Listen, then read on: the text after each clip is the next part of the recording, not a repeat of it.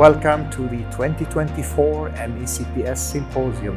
The students, you have worked very hard over the past 15 months. You have worked on your projects for two quarters, and this is the culmination of your experience. The students are going to go through the presentations of their projects, and you get to actually vote on the best project. We have an exciting program for you. Thank you again.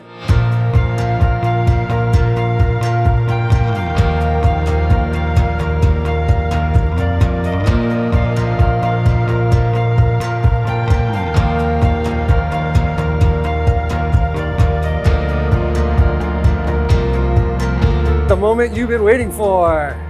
First place for People's Choice FPGA based ML Edge. Good job, guys. For the first place Experts Choice Award. Autonomous Rover Navigation. Yeah!